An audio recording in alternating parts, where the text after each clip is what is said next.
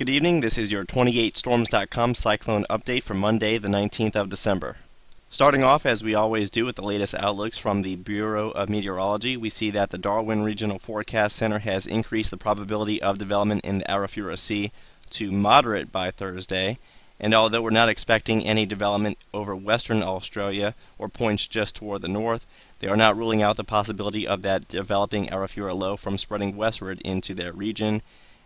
and if that wasn't enough, the Brisbane Regional Forecast Center is also monitoring an area of low pressure in the Coral Sea, and they are giving that feature a high chance of development into a cyclone by Wednesday or Thursday. Sunset is upon us, and I apologize for the choppiness of the latest visible satellite animation, but we can make out both of the developing tropical disturbances. The first one is more than likely originating from this disturbed weather currently over the Gulf of Carpentaria. Fortunately, there are no signs of significant pressure falls or a very clearly well-defined surface circulation at this time, but this overall cloud mass should continue to drift more toward the northwest and eventually spread over Darwin, increasing the chances of precipitation, including the threat of heavy rainfall, and the system over the Coral Sea is also not very well defined just yet, but it is showing some signs of perhaps some very slow development. Here is a different look at both of our tropical disturbances using the latest standard infrared satellite imagery, and you do get the overall feel that development will be very slow to occur, although there are some signs of perhaps some very slight organization. And the latest water vapor animation shows that the upper level conditions still appear to be fairly favorable along the northern tier of the Australian coast. We see that there is a trough draped across much of the central portion of the country, but just toward the north we do have anticyclonic flow, which is favorable when you see that aloft, and it looks as though the upper level winds will remain favorable for the foreseeable future. The following is a microwave satellite pass taken of the disturbance in the Coral Sea roughly 8 hours ago, and you really don't get the picture that this system is overly well defined just yet. And as we advance this, this is now the most recent microwave satellite pass taken nearly just about one hour ago, and there really hasn't been all that much in the way of any significant change in organization. Meanwhile, the latest precipitable water animation can often give us good clues as to where a developing area of low pressure may be present and we don't really see much in the way of any cyclonic spin in the Gulf region just yet, and that system more than likely won't begin to organize much more until it begins to clear the coast as it drifts toward the north and eventually makes its way just to the north of Darwin, Australia, and the system in the Coral Sea is beginning to show a little bit more sign in the way of cyclonic spin, but again, development in that region is more than likely going to be very slow in nature, as it will take time for that area of low pressure to detach itself somewhat from the monsoon trough. The latest low-level vorticity analysis from the University of Wisconsin confirms the fact that the vorticity over the Coral Sea remains very elongated from east to west. And of course, if you want to have a true tropical cyclone development, then this whole area is going to have to become a lot more concentrated, and that will take a couple of days to do so. And the area of low pressure or vorticity is still fairly weak in the Gulf, and it will more than likely remain weak until it begins to inch a little bit more toward the north into this region. Furthermore, although upper level winds are marginally favorable for development, the favorable upper level ridge that is supportive of tropical cyclogenesis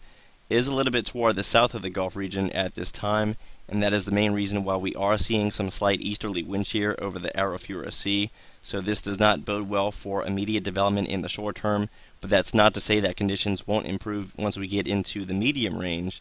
And the same can be said in the Coral Sea where we do have quite a lot of wind shear although it's primarily located across the south and central part of the Coral Sea. So what can we anticipate from both of these systems in the future? Well, I wish I could say that once we show the latest dynamical forecast model guidance that we would have a little bit more in the way of confidence, but unfortunately there is actually more model disagreement today than there was at this time yesterday. So as we begin with the latest 0Z run from the GFS forecast model, Slow development does occur, and we do get a cyclone out of that system in the Coral Sea, but the stronger of the two systems is the one that emerges in the Arafura, and it becomes a minimal tropical cyclone near Darwin, and then it begins to move toward the south into the inland communities before it really has much of a chance to become a significant cyclone. But the drawback of that is if it stalls over the inland communities for an extended period of time, then we do run the risk of some heavy rainfall and potential flooding. With that said, here is a look at the 8-day precipitation accumulation forecast from the same model. And some of these darker colors across the Northern Territory is denoting areas receiving in excess of 8 to 10 inches of rainfall. and that amounts to roughly 200 to 250 millimeters of precipitation. But keep in mind the only chance of these precipitation totals verifying is if the GFS completely nails the overall track forecast. However, as I stated just a moment ago, there is quite a lot of model disagreement today,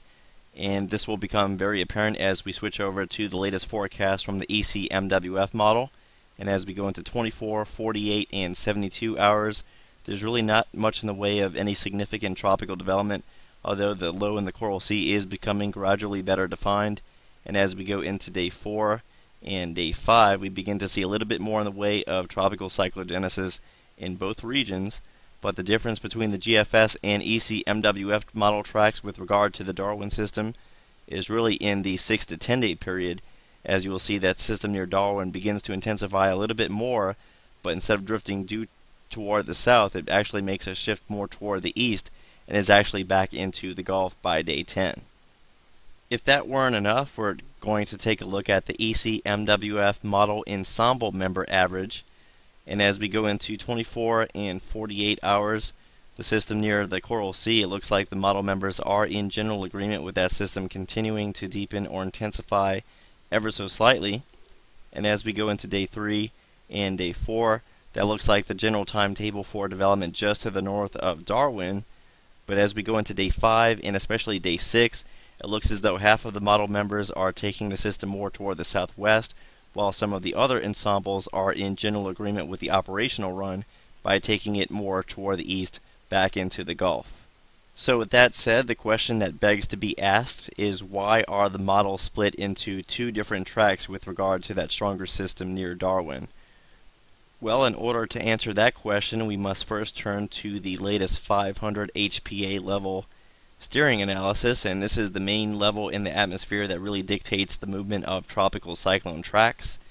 And we'll start off at the current hour, and you will first notice that there is a 588 decameter ridge centered over the southeast Indian Ocean extending into western Australia. And this ridge is going to persist over the next 48 to 72 hours. And if we had a fairly well defined cyclone sitting to the north of the Kimberley coast, the flow around this ridge would highly suggest a general west to west southwest movement. But the problem with that overall forecast track in this case is that as of right now we're really not dealing with a very strong cyclone. So therefore the 500 hectopascal level in the atmosphere is actually not the dominant steering level just yet. And as we go into day 4, that is when we begin to see the area of low pressure even begin to show up at this level in the mid layers. But by this point, we're also beginning to see a return of troughiness across much of Queensland. And the difference between the two model camps is that some of the models are showing this trough beginning to capture the cyclone, which would start to induce more of a southeasterly track back toward the poles, while some of the other models are showing the system drifting enough toward the west and strengthening so that it gets captured by the ridge toward the south and then begins to drift a little bit more toward the western Australian coastline. So which model solution is correct? Well, unfortunately, it's just too early to make that determination. But one thing that does look fairly certain is that areas around the Northern Territory, especially surrounding Darwin, look to have an increasing chance of heavy rainfall, and that will be the main concern over the next two to five days. It does look as though the system will become a classified cyclone once it begins to organize in the Arafura Sea, and as to how strong it gets will also be greatly dictated by how much land interaction occurs. But the one bit of good news today is that the system over the Coral Sea is unlikely to make a direct impact along the Queensland coast, as it looks like we will still have enough mid-latitude westerly flow over Queensland, partly in association with that developing trough in the medium range that will keep the system just toward the east. So thank you again for following 28storms.com slash cyclone. If you found this video from an external source, don't forget to check out the page that these videos originate from. Again, you can check out 28storms.com and just click on Cyclone near the top, and that will bring you to this page where you will find our daily video updates, including a multitude of links containing weather information for much of Australia and the tropical cyclones that form around this region. And we've also added a little tab toward the right that includes some Twitter updates from some reliable sources across the internet. One of those reliable sources is Oz Cyclone Chasers. They are a very close partner with us here at 28storms.com. And whenever a cyclone threatens to make landfall near Australia, their intention is to stream live video of the cyclone to their website. So you can go ahead and check out their website or like them on Facebook. And they are also frequently updating their chase plans at a forum called xweatherlive.com. So don't forget to check that out. So thanks again for tuning in, and that's all for now. But stay tuned because we will have another video update posted by tomorrow afternoon.